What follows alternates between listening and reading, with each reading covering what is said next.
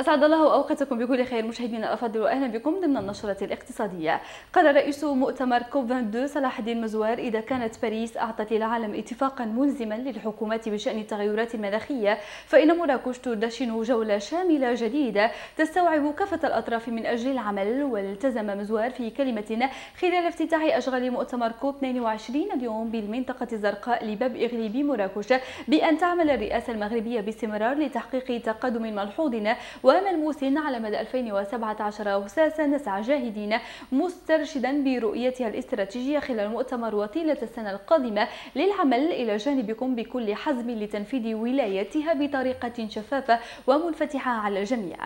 في سياق ديسلا أصدر بنك المغرب ألف ميدالية فضية تذكارية تخلد لمؤتمر الأمم المتحدة لتغير المناخي كوب 22 الذي افتتحت أشغاله اليوم بمراكش. وأوضح بلاغ لبنك المغرب أن هذه الميدالية الفضية تزن 28.28 جراما ويصل قطرها إلى 38.61 ملم ويحمل وجهها صورة صاحب الجلالة الملك محمد السادس. بينما تم تزيين ظهرها برسم مزخرف لكوكب الأرض ومعلمة المنارة بمراكش محاطة بعبارة مؤتمر الأمم المتحدة للتغير المناخي في موضوع آخر حطت قافلة المقاولة الذاتي اليوم رحلة بمدينة طنجة بمشاركة خبراء وأطر مؤسساتين من جهة طنجة تطوان الحسيمة لتحسيس واطلاع الشباب الحاملين للمشاريع على الامتيازات القانونية والاجتماعية والضريبية والجبائية الخاصة بالمقاولة الذاتية. وبهذه المناسبة قال رئيس الجمعية الوطنية لتنمية روح المبادرة عبد اللطيف البريني أن هذه التظاهرة الاقتصادية تهدف إلى تمكين الشباب من التعرف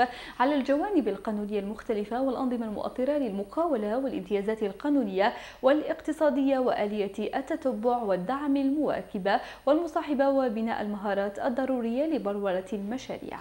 وختاما أعلن بنك المغرب بأن صافي الاحتياطات الدولية بلغ 250.2 مليار درهم وذلك إلى حدود 28 28 أكتوبر 2016 مسجلا ارتفاعا بنسبة 14.44% وأوضح البنك الذي نشر مؤشراته الأسبوعية من 27 أكتوبر لغاية 2 نوفمبر أنه من أسبوع لآخر سجلت هذه الاحتياطات انخفاضا بنسبة 0.2% وبهذا نكون وصلنا وإياكم لختام موعدنا الاقتصادي نشكر لكم طيب المتابعة في أمان الله.